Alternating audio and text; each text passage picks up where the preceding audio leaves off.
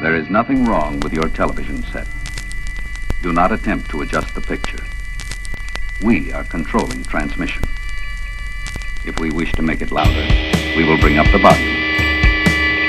If we wish to make it softer, we will tune it to a whisper.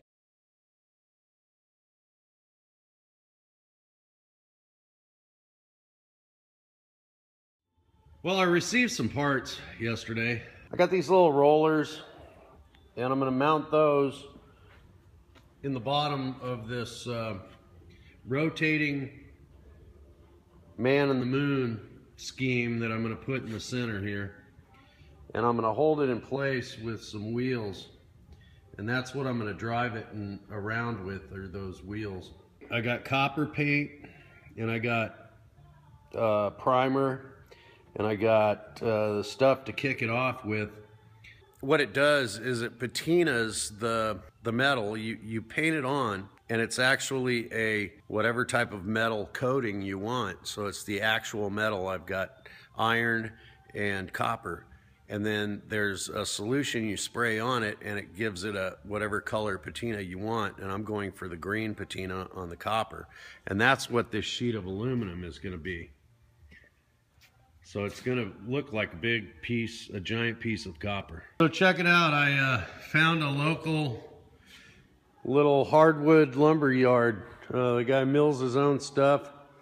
And I got some maple, eight quarter, which means two inches thick. They're about six feet long, uh, $50 a piece. And they're, it's pretty nice stuff. I, he didn't hardly have any left and I had to get one with a knot which bummed me out a little bit because what I'm going to do is I'm going to saw them in half and then I'm going to join them side by side. So I'm going to have about a one foot wide piece that I'll be able to cut gears out of to make the legs. Just ran my piece through the planer and boy, it looks pretty doggone good. I mean that, I don't know if I get it close up enough to see, but you know, it looks pretty good. That's two pieces of three quarter inch oak. Now, whether or not there was too much spring back uh, remains to be seen. I'm going to make a, I'm gonna put some MDF on the table and scribe out the inside here so I've got something that I can fit this thing to and make sure that um, I'm gonna clear the sides. Doggone it, there's always something, right? Uh, my piece of MDF wasn't quite wide enough to make my template for the center. And what I want to do is when I start cutting gears, I'll have somewhere to lay it out and place everything before I transfer it all over to the aluminum. Okay, I've cut all of my uh, maple in half and right now it's it does it's just basic planing. None of it's really flat, it's wavy and and some of it's a little tippy and whatnot. So I've run it across the uh, the shaper or the um, joiner, and I've got one side that seems to be flat. So those are the sides I'll join together. All right, I just ripped down all the boards, so when I add them, join them together, um, they're gonna fit through my planer. It'll only accept 13 inches width, so I ripped it down to 12 and a half. That should be plenty wide for anything I need to do, I hope.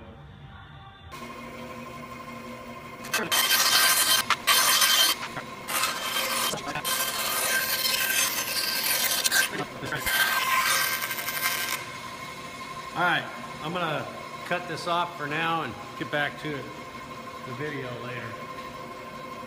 So I used the original template for my gears over on the big table to kind of work them into that shape. And basically, you know, steampunk is part Victorian, so I'm I'm giving the legs a little Victorian look.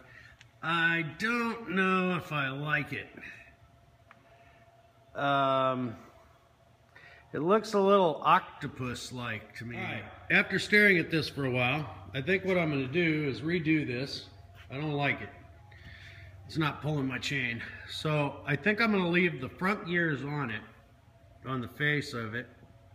But the back, I'm going to do my accentuated Victorian shape there. I just took out all my bolts. I'm gonna go wash them off, stop the uh, process here, get them all cleaned up.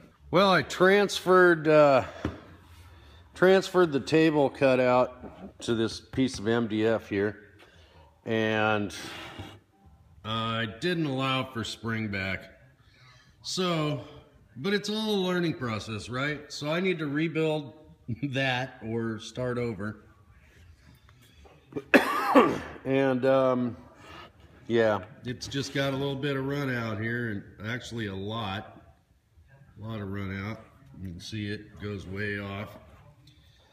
So back to the drawing board. But it's all fun and games until somebody gets hurt, right?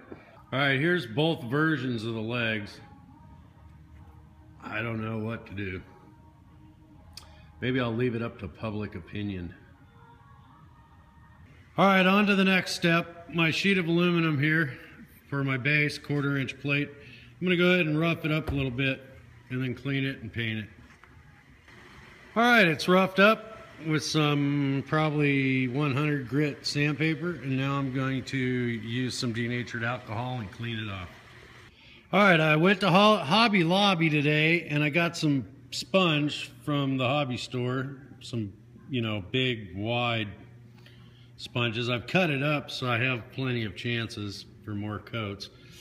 I ordered from Craft Supplies USA uh, this is the primer. I need two coats of that.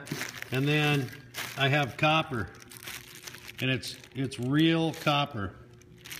And so I'll do a coat of copper and then I will uh, spray some green patina on it and it will kick off and this is going to be an ongoing project here, but this should look like a piece of patinaed copper by the end of it. All right, there's the first coat. I poured it out of the bottle in small sections and then I dabbed it with this sponge. And this is the actual copper that'll go on after two coats of primer. But you can see it's got that rough pounded metal finish look.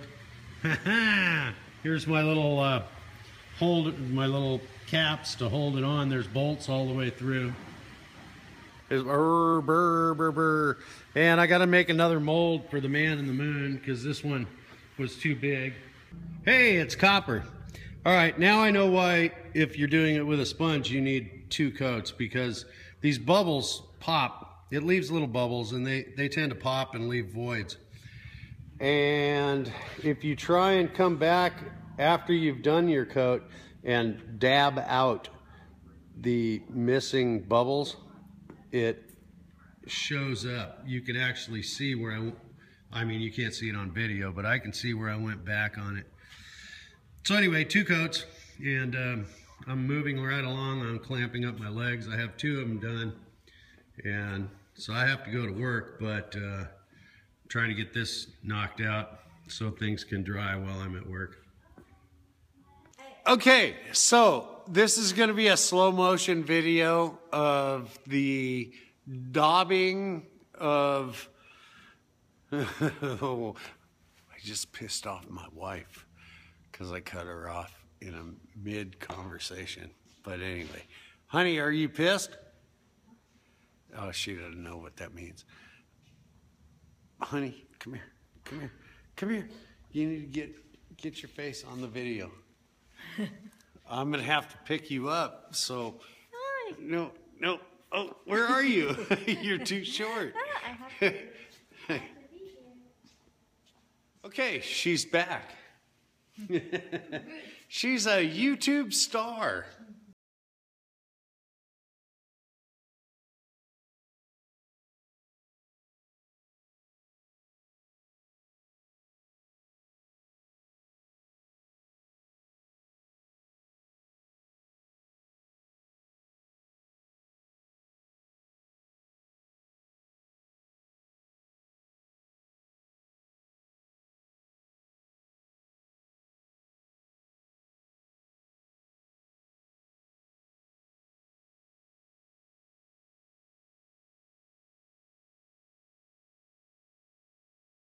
All right, it's uh, looking green, still wet.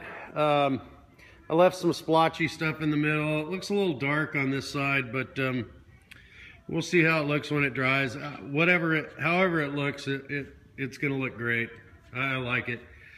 And I gotta have my phone back. I, I gotta go to work, so that's why I'm I'm stopping this time lapse. And uh, we'll take a look at it again this evening.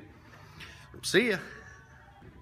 Well, I tried to make the exterior a little darker, um, maybe a little splotchy in some spots. You can see, I can see where it looks like spray marks. But the cool thing is the outside edge is darker, and then my man in the moon is going to ride around the outside. So it's really going to kind of disappear. You won't be able to see these patterns um, right now, I don't think. So I'm happy with it in the long run, and it's beautiful, really. I mean, it looks like a big piece of antique copper, and I can't wait to get it mounted to the table. But right now, I just went and got some oak, and um, God, what is that? Hold on, I got the receipt right here. It's not something that I normally um, buy, so but it's good for carving and bending. It's really good for bending. And that's what I'm gonna do. So give me one second. Sassafras.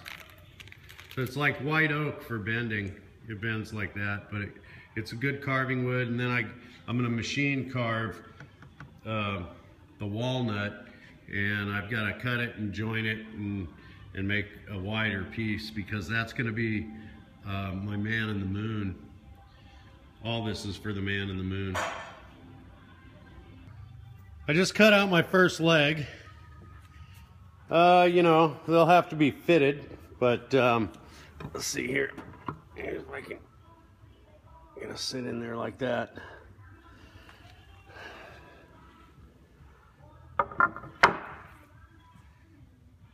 That's one down, two to go and then a bunch of sanding like this guy and I'm just gonna trash everything again. And with dust. I need to make a sanding table one of these days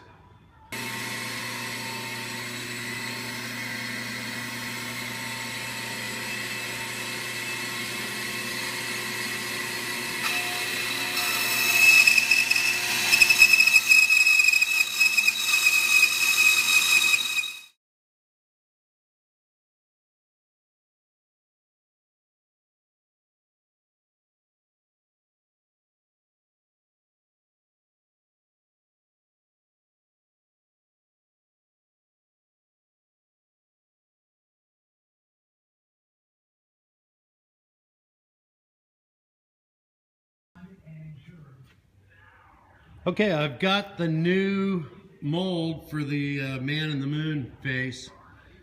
Um, so the form's built and hopefully it's a new radius so it's a much smaller radius to allow for some spring back.